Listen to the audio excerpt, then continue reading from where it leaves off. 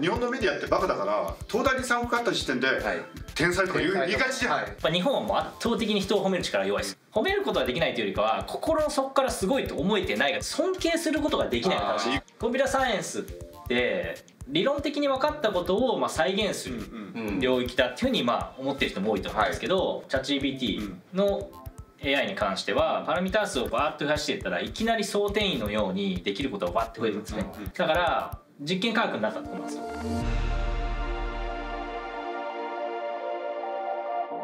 ちなみにこの俺番組ピボットって言うじゃないですか。で俺あのずっとねあの実はあの北川さん見ててピボットだなと思って。でだから物理やってその後楽天行って、はい、えその後だから、えーと、ブロックチェーンやったんだよ。ブロックチェーンの会社で今もやってその会社も一応あるんですけどもあのまあ、あの最近のフォーカスはその量子コンピューター。でウェルビーイングもやっててだからピボットしてますよね意外と。そうですね。ちょっとピボットしてますね。えどうですか？ピボットって。僕好きなんですよ。なんかこう、うん、今でも覚えてるんですけどやっぱりそのハーバードに初めて行った時、うんうん、あのまあその秋なんでちょっと肌寒い季節でで、まあ、英語も僕もともとそんな喋れるタイプじゃないんで、なんかこうすごいタイプってあの記憶資料ないと思うんです 記憶資料ないんで英語はあのあまりできない人間だったんで行った時にこうやっぱノーバディな感じですね。だから何者でもない感覚。ででもそこにはすごいものがあるはずっていうワクワク感を、まあ、すごい覚えてて。でちょっと寒い肌寒い感じでなんかこうフレッシュな、まあ、エアーみたいな空気みたいな感をすごい覚えててあれが結構やっぱ好きだったんですよ。ね。でそのなんかなんあそうかピボットした時に新しい分野行くとノーバディだからそうですそうですその感じが好きなんだ。その感じが好きなんですよ。じゃあサンバディになったらどっか次に行くってっていう癖が若干ありますよね。だからい。や竹下さんも実は、えっと、朝日から、はい。ハフィントンポスト行ってここ来たんだからピボットして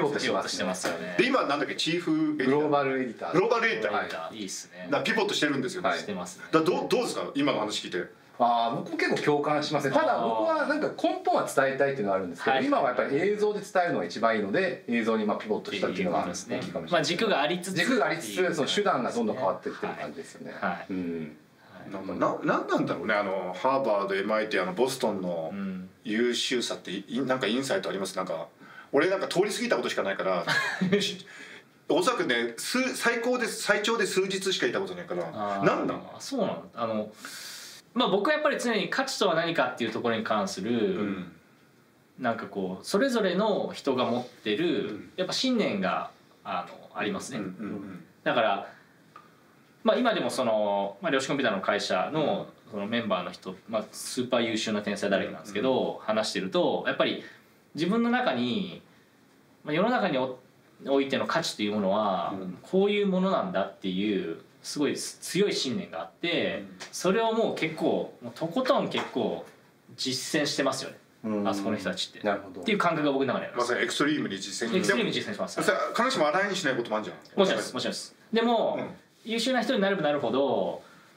幅広く価値とは何かっていう感覚を持ってるので、うん、この人の価値はこういうすごいことを生んでいてそれに関してはすごいリスペクトをして、うん、自分はこうだからうまくこういうふうにコラボしようっていうことをよくやってますね。あなんで。そういう価値観とインディビジュアルな感じと、うん、さっきのインディビジュアルがもしかしたら再現できるかもしれないっていうのはどういうふうに北川さんの中で整合性を取ってるんですか？あ、はい、あ、うん、あでもそれはでもあそれはでも難しい質問ですね。うん面白い質問だと思いますね。でもうんまあ時間軸の話なんですかね。時間軸。はい。だから結局今の生成技術って割とその、はい今ここで例えば画像を作ってその絵を作って文章を作ってっていう話をしてますけども、さっきの山下さんの話って人を産む時って10年20年の熟成を経て、その経験だとか苦労だとか成功だとかを引きずって次の一歩を踏み出すっていうこうキュームラティブなこう、あの experience の話をしてるんで、今まだ AI が考え出してないのは多分そういうその entity を育てる育てる時にどういうふうに育てるべきかっていう議論にはまだ至ってないです。そうね。このね竹下さんよく名前間違えるの。今山下さんっつったじゃん。俺も初初回の竹下さん。収録で佐々木さんって言っちゃった。僕全部スルーするっていう本 なんで間違えやすいかっていうとおそらく世の中の竹下イメージと合ってない どういうイメージ世の中竹下さんっていうイメージ名前変えた方がいいノブとかな。んかウィストなんかなんかねなんか竹下っぽくないんだよ竹下結構それは先祖代々確かに山下っぽいんだよ山下山下あるいは佐々木っぽい。でも北川さん北川さんっぽいですいや茂木さんめっちゃ茂木さんっぽい。茂木さんっぽいですまあだけどさなんか本当にだから MIT だとメディアラボとかよく言ってたんですけどやっぱりボストンのあの雰囲気って今言ったようなことって一つあると思うし俺なんか例えばあの MIT ですげえなと思って聞いたのはあの一人一個 IP アドレスグあのグローバルユニバーサルなあの、はい、IP アドレスを持っててそれでそれで何に使ってもよくて、でそれをなんかやらかしちゃったっても全然なんかそれをなんていうの？気にしないっていう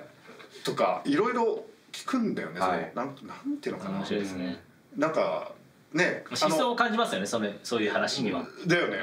うんうん、で。あと、あのハウスの話とかね、はいはいはい、ハウスはどんな感じだったんですか？自分のいたのは。僕あのノーウェルハウスっていう、ハウスって何ですか？ハウスってあのハーバードの学部生が、はい、その2年生以降になった時に住むあの寮の名前なんですよ。寮のことをハウスって呼ぶんですね、うん。うん、そこなんかいろんなメジャーの人がバーッとうん、でまあ共同生活してるんで、うん、あのまさにいろんな分野の方が、まあ、その同じその食堂でずっとご飯食べてるんでまあ、仲良くなる。なるほど。で、北川さんのハウスはどんな？うん。まあ僕は基本はやっぱ友達いなかったんで。どっちだどこに住んでても同じだったんですけどまあでもあのそうですねあの川沿いの、まあ、一つのあのハウスで、あの非常に思い出深いですね。一応そのあの雅子様が昔住まれてたハウスと同じ。で僕たまたまその彼女はあの、まあ、ハーバード卒なんですけども、うん、1年生の量も2年から4年からの量も全部実は雅子さんと同じなんですよ。雅子様ストーカー。たまたまたまたま。って話ストーリーを聞きました。はい、まあだからなんか僕はね、はい、どっちかっていうとあのアメリカの大学がいいっていうストーリーばっかりは日本にベースしてる人間としてはちょっとなんか変な感じですね。あのー、まあ僕もケンブリッジ留学してたけどケンブリッジの例えばトリニティカレッジとかめっちゃいいけど、はい、いやトリニティいいっしょって言ったっていやそれよりも日本の大学をもっと良くした方がいいんじゃないのって、う。んまあね、あれ日本の大学はなんか関わったことあるんだっけ？いやあんまりないです。だから一応その物理学者のところに、まあ、あの呼んでいただいて話をするぐらいのことはありましたけど、なんかうまくコストかけないでそんなお金かけられないと思うんで日本ってお金ないんでなんかいいアイデアないですかね。まあでもやっぱり僕の後輩あの小林亮介っていう、うん、あのご存知かもしれないですけども、ハーバード行ったやつが今寮を日本に作ろうとしてあそう。はい。下北カレッジっていう下北カレッジ。はい。下北に作ってるんですけどあの寮は僕は結構本質的にありだと思います、うん、寮っていうかあの学生の寮もすごいありだと思うし、うんえっと僕ニコタマに住んでた頃に実は長屋みたいなとこ住んでて、大家さんがすっげえ気のいい人で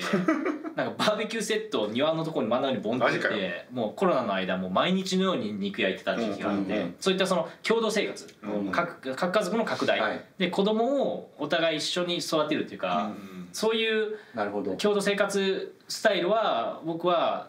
ウェルビーイングの観点でもその人間の進化という観点でも非常に寄与度は高いと思います。それはウェルビーイングでよく時間の話されてるんですけど同じ時間を過ごしてるっていうのが大事なんですかね、はい、特にまあやっぱりその学生の時期っていうのは、うん、その教育とは僕の中では新しい、うん新しい価値の獲得なんですね、うん、その今まで価値だと思ってなかったものをすごいこれ価値あるねって思えることが僕は教育だと思っていて、それってまるで興味ないことに興味を持つっていうこれ矛盾したことをやらなきゃいけないですね。それを唯一起こせるあの力って僕人間関係だと思っていてだから共同生活は僕は新しい価値観を獲得するのにもう絶対必須だと思うそれって今後人間にしかできないんですか？要するにバグった価値観を入れていくっていうのは人間だけができるのか？それともなんか量子コンピューターもっとシミュレーションしてもっとそういうああの価値があるとかないとかの判断基準があの感情だと思ってるんで僕は。なるほど。別に人間じゃないといけないことはないですけども、ね、その感情というものをえっと AI にやらせる必要性がある、その感情ってどこから来ると来るかというと結局まあゆくゆくはあの進化論的なその人間の結局そのサバイバルフィッテストの中からある程度出てきてるのであのそういう、はい、文脈に AI を載せてしまえばその中で感情の獲得というのはあり得る。その中であるそそれものすごい面白い話です僕あの、まあ、僕のライフワークは意識なんであのあのすごく今 U ターンしてるとか安心してるのは今の人工知能の先には意識はないってことは確信してるんでまず安心してるわけ、まあ、ここは大丈夫、ただ本当意識のやってることの99.9%はあのもうできちゃうと AI で、だそういう意味においては脅威を感じてるっていうか、うん、あのチューリングテスト合格しちゃったし、はい、おそらく、はい、心の理論あのご信念課題もおそらく合格しちゃってるし。何すかご信念課題？あの A っていうところに入ってると思ってるんだけど実は B にも客観的には移ってて、はい、でそれを間違った信念を抱いてる時にそれをあの分かるかっていうのがもう、ね、えーと、LLM は合格しちゃってるんで、ただね今感情って言ったじゃないですか、意識とか感情っておそらく人間の本当に微妙な、なんかところに属するんで、はい、だいわゆる AI 効果ってあるじゃないですか、あのもう AI ができたってことは、はい、もはや人間の本領ではないって思うバイアスみたいな、はい、どんどんハードルが上がっていくっていうか、うん。うん、逆に言うと AI 効果でこの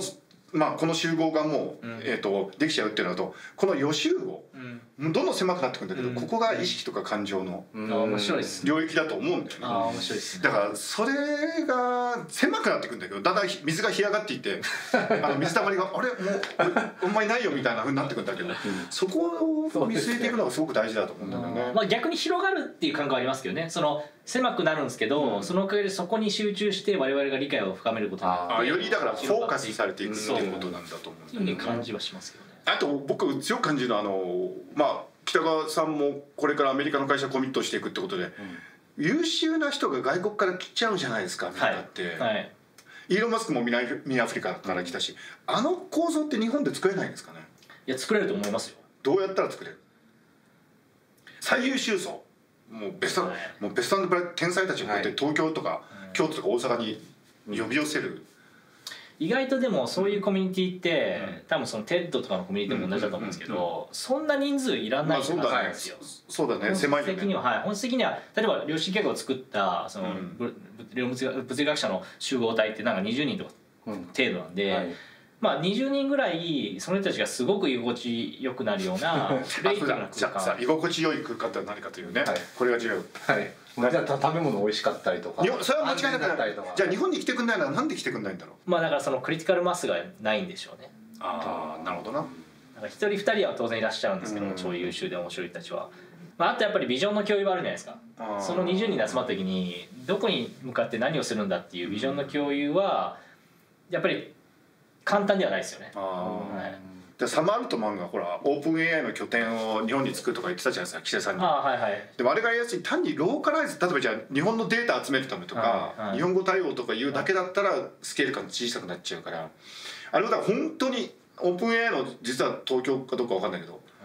あの研究拠点ってすげえよってするための条件って何なんだろう、まあやっぱりあの支援って合ってないですまだ。合ってないあのそこの、まあ代表になる人間が支援って、僕の昔からの知り合いなんですけど、実はあそうなのそうなんですオープン AI に行くか行かないかみたいな相談にも乗ったんですけど、であの、まあ、シェーンがこれからやるチャレンジだと思うんですけどもやっぱりそのその超天才の20人を集めた時にその20人がもうこの心の底からこう邁進できるような環境づくりをするリーダーシップまあ、サイコロジカルセーフティーだとか、まあ、心理的安全性とか、はい、えー、リソースですね。だからお金とかそういったそのオープン AI の、えっと、へのアクセスだとかもう全部含めてその場作りをいかにできるかでまあこれはでも正直、まあ、吉田松陰的な話だとは思うんですよね。だからまああの志の共同体。そう簡単じゃないしそういうソートリーダーというか思想的リーダーが必要ってことその人がソートリーダーシップを取るかどうかは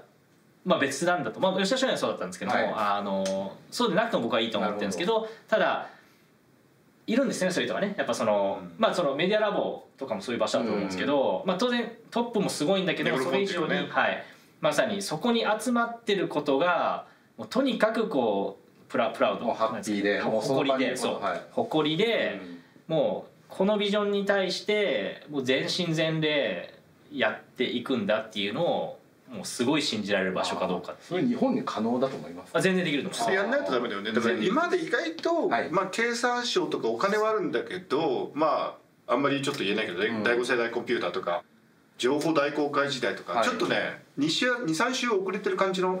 ただあ後からトロンなんかもそうだけどさ、はい、さんの意外と要素技術見るといいことやってたりするんだよね、はい、ビジョンが確かに足りないんだよ、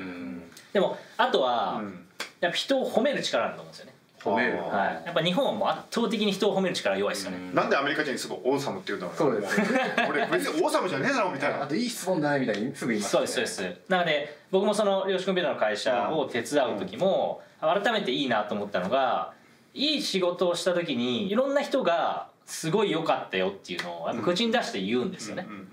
もうもう圧倒的にこれいいですよやっぱり。やっぱその育てないと才能は、でなんで茂木さんも昔からねいろんな人と対談する中でや,、ね、今日やられてたことだと思うんですけどやっぱメディアがですねまさにピボットみたいなメディアがまさに田中秀則みたいな才能をなんかこう褒めまくると。ああなるほど。まだ発見されてないっていうですね、まあ、メディアはどうしても褒められてる人をさらに褒めるっていうのは得意なんですけど引き上げるのは日本は得意じゃないですよね。もっとまあローカルでしっかりしかも日程にテレ東日系日系帝東大学みたいなんじゃない、やり方でね。いや俺この前もだからさあのハーバード？医学部の女性と？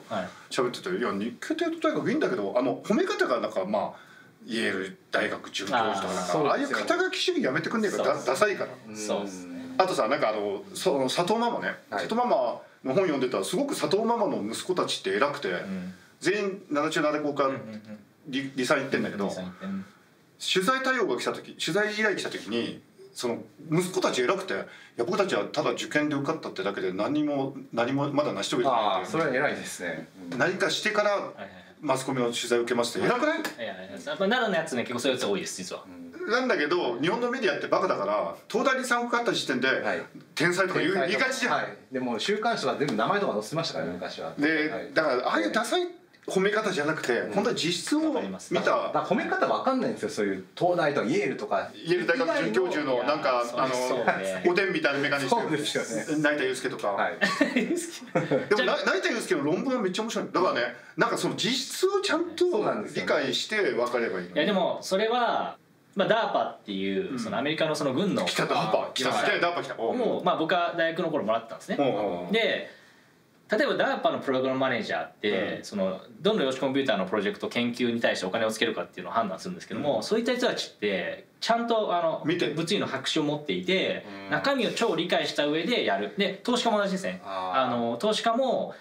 バリバリのやっぱそのなんか理論的な体系を理解していてスーパー理解した上でしっかりと投資するみたいなのってだから評価する側。あ目利き側もそう目利き側がめちゃくちゃインデプスにプレイヤーだったあ目利きが基本的にはジャッジ側にもいるんでそのコミュニケーションがすっごいスムーズなんですよ。でも日本はもうジャッジする側の人たちがもう諦めてること多いですね。論文読まないとかなんかその領域に対してそのちゃんと時間を使って理解しようとしないとか、心の底からそういう領域に興奮してるんじゃなくてすごいアングルかけた感じでなんか興味を持ってる、なんか例えばねなんかその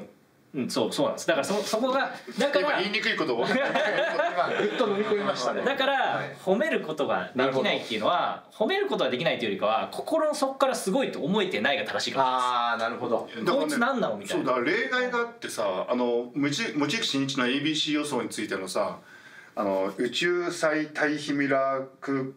理論、はい、わけわかんない。あれあれをの、えーと、NSP 作ったスタッフの中には数学の修士か博士持ってる。いや NHK 僕すごいと思うんですよ。だから NHK 結構僕ちゃんとあの人たちは分かってる人がやってるんだけど、ドキュメンタリー見たらやっぱそ心の底からその人を尊敬してるドキュメンタリーって分か分かりますよああいうことはある、ああいうことはあるんだけどほとんどはなんかその肩書きとかなんか。あだからまあ半分ちょっとバカにしてるんでしょうね肩書きしか判断できないっていうのは、はい、だからバカにしてるのか。バカにしてるっていうかなんか分かんなんていうんですか、まあだから、もうそういうそういうなんか商業的価値のあるものとして扱っちゃって、扱ってるっていうはい、商品として扱ってるだからまあだからだから多分その撤回すると褒めることができないんじゃなくて尊敬することができない。いいいこと言ういいこと言うね。日本人は他人を尊敬することができない。いいこと言うね。これがイシューですでもともとでも柔道でも何でも礼から始まって礼に終わるっていうか、そん。相手に対するリスペクトっていうのはあるはずなのに。本来的にはある。素地はありますだから。素地はすごいあるのに尊敬するということはどういうことかを忘れちゃってんでしょ。なるほど。それを思い出せば、うん、なるほどちょっと AI の話に戻りたいんですけどなんか北川さんがツイートで面白かったのはこれからなんか実験科学の時代に入ってこれも田中田中秀則のああもともとは田中さんすごい人ですそれどういうこと あのコンピュータサイエンスってその理論的に分かったことをまあ再現する領域だっていうふうにまあ思ってる人も多いと思うんですけど、今回のそのチャット GPT の AI に関してはパラミター数をバーッと増やしていったらいきなり想定員のようにできることがバッて増えるんですね、だから実験科学になったってことなんですよ。つまり現象論として AI がこういう挙動ができるこういうことができるようになるっていうことがすごい増えていったんだけども、理論的にそれがなぜできるかっていうのは実は理解されてない。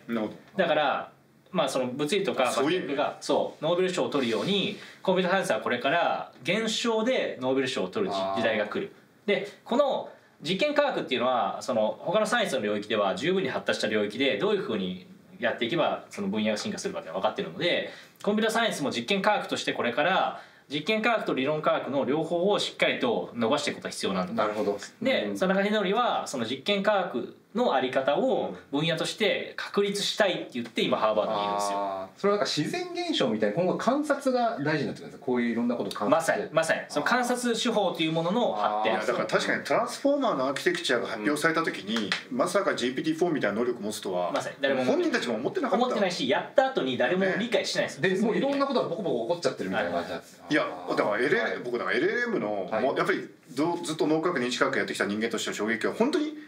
なんであんな能力持ってるのかが理解できなくて説明できなくて、ただ考えてみたら人間の脳もそうじゃない？そうです。これもラージランゲージモデルみたいなもんだから、はい。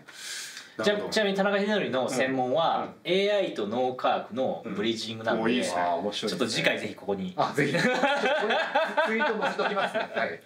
ところでさあのフィリップ・アンダーソンのさ「More is Different」の論文最近意外と愛してるじゃんてか前からまああれ古典的な論文だから。あの論文の意味ってどうですか？今今。いやいやもうまあもうますますどういうところを？正しかったなと。どういうところを？レイマン。これを見てるレイマンにあのちょっとざっくり説明する、あレイマンってやつ、あのまあそのフィリップ・アナーソンが言ったその、モイズ・ディファレントっていう思想は、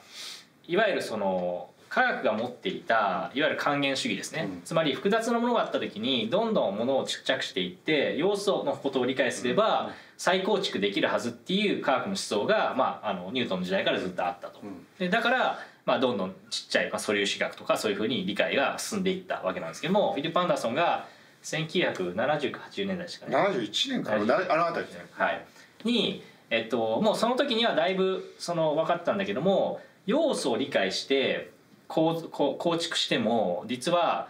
あの大きなものの理解は得られないということを数理的に実は証明、証明したっていうかそのあの、まあ、出してる例がオタクオタキすぎるけどなアンモニア分子のなんかね。そうです。いやあの、ね、もうめオタクだよね。まさに。まあ超オタクなんです。まあでもそのその当時、えっとまあ、いわゆる相転位という実はそのコンセプトを分かりやすく説明しようとしてそういうことを言ったんですけども、言ってしまえばえっと水分子、まあ、アンモニア分子でもいいんですけども分子を一つで見るとただなんかねそのくるくるまあなんかそのただの分子なんですけどそれをどんどん数を増やしていって10の23乗個とかを用意すると水になったり氷になったりいろいろすると。でその変化想定員が起こる変化というものは実はあのすごく再構築するのはそのファーストプリンシポルって言って、まあ、いわゆるそのあの、一番基礎的な理解から積み立てていくのは極めて難しいんですよ。実はそこにはすっごいジャンプがあって。個別を見ても全体が分からないだからそれまさに LLM で起こってることだよね、まさにだか。らそれを彼はまあその物理的な概念を使ってまあ正確に証明をしに行った人なんですけどそれノーベル賞を取った人なんであのだか。らその現象っていうのはより一般的であるということを彼はすごい議論しようとしたんですねつまり生物における複雑性だとか、えー、いうものも実はもともとそういう思想がもしかしたら裏にあるんじゃないかということを提案してでまあ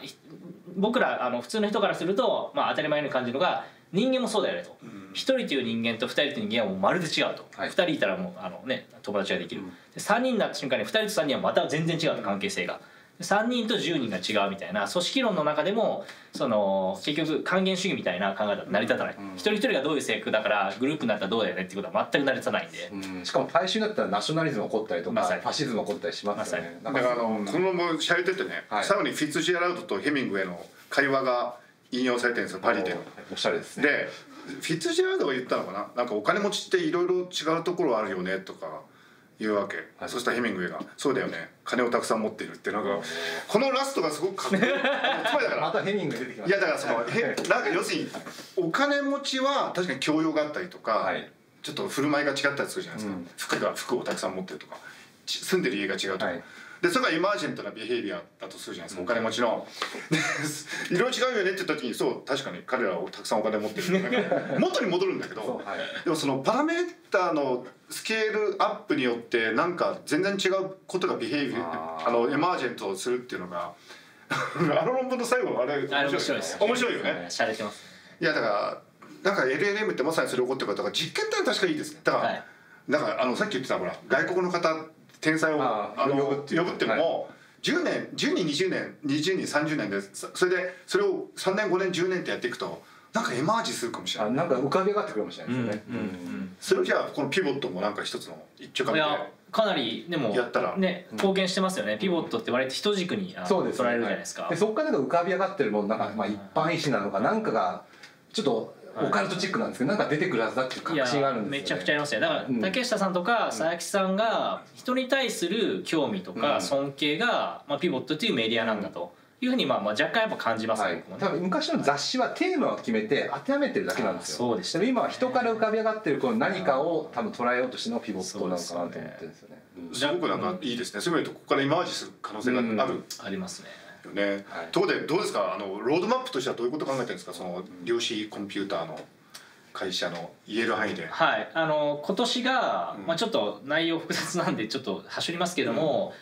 うん、あの、まあ、量子コンピューターってとにかくでかくしていくのが、まあ、難しいんですよね、うん、今って256キュービットって話しましたけども、まあ、これをその間違える量、今ってその大体1回1回その計算すると0.3%ぐらい間違ったりするんで、それをまあ0.0000って言って、まあ、10個ぐらいこう並べてしか間違えない。0.000%しか間違えない機械を作って。それコンタムエラコレクションのなんかアルゴリズムを変えるってこと？いやまさにあの量子あの誤り訂正技術を実装する、うん、でそれをスケールして実装する、うん、でまさにその誤り訂正技術の,、えっと、その内容自体もはるかに良くする。で北川氏はその理論的なところの担当？いや僕はもうあもうマネジメントなんだ。僕はそうなんです。僕はだから理論家として10年やって、経営として10年やったんで、まあ、両方分かるということで実は経営としてまあ手伝って。すごいですわじゃあちょっと一癖も二癖もある人たちがこうやってマネージいやいやいやまああのあの、まあ、逆にこれ面白くて僕からするとその僕がこの底からせあの、ね、尊敬する研究者とかの方々をいかにサポートするかなんですね。だからこれは本当になんか僕はこのそこからもう絶対自分じゃできない仕事をチームとしてやるっていう話なので、もう完全にサポーターに回る感じです。で僕自身も当然その理解はできるんでやるんですけども結局まあしょぼいわけじゃないですかそんなね。その、まあ、もう本当のあの天才たちがそこにいるんで。なんでだからそういう意味では僕はさっきの場作りのその面白さというものをまあ体験させてもらおうかなと。じ僕はちゃんと場が作れるなるほど。その経営者なのでも人間ってややこしいし面倒くさいじゃないですか。そういうのは得意なんですか？マネージしたりとか。やっぱこの10年間やってたんで、はい、かなりあの得意な方だと思うんですよあなるほど。そもそも興味があるんで。であと人に対して尊敬したいっていう念が基本的にはすごい強いです、うん、そこがベースなんですね、はい。人への尊敬がやっぱ僕はその場作りをしたいという気持ちのまあ根源になってますね。じゃ楽天に行ったのは私なんかデータを把握したいのかなと思ったんですけど、もともとはそうそれよりももうちょっとハンズオンのマネジメントの方が好きってこともうあの経験。最初はね単純にもうオタクだった絶対 最初は。経歴を見るとなんかデータが欲しくて行かれたのかなと思ったんです最初はそう最初はそうあのおっしゃるように変わった。いい話ですね。やっぱ基本的にやったことないことをやりたい人間なんでやってるとあこれが本当に価値あることだなって思えるようになったっていうねそろそろ時間になってしまったんですけど、はい、なんか北川さん最後にないですかメッセージでどれだけ言いたいっていうか。まあでも今日いいいいテーマ出ましたよね。この日本人は人を尊敬できなくなってんじゃないか。それすごく面白いですね、はい、このテーマをぜひちょっとあのお二人とこれからも詰めていきたいですね、はい。はい、そうですね。それでピボットのなんかメディアとしての役割も見えてきた感じしますね。ありがとうございますビジョン茂木先生どうですか最後コメントいやあの僕はやっぱり北川さんって会うたびに変わってるですよね。それがすごいなと思って、やっぱり変われるって僕はすごい、あそうなんですね。自分は感じないですね。あのポケモンでいうとメタモンみたいなもんで。だちょっとほら三河わざればねあの だから本当になんか今度また会う時はどういうふうに変わってるのかなってめっちゃ楽しみです。まあちょっと、はい、あのね日が空きすぎるんでちょっと開かないうちに会いましょう。ちょっと、はい、そうですね。俺あのボストンであのグリーンモンスター見ながらビール飲める時期に行きたいですね。ぜひ。冬は寒いから。でもアメリカ移住するあの二三か月後にはいあのビザが降りれば。なるほど、楽しみにしてます。はい、はい、ということで北川さん小木さんどうもありがとうございました。ありがとうございました。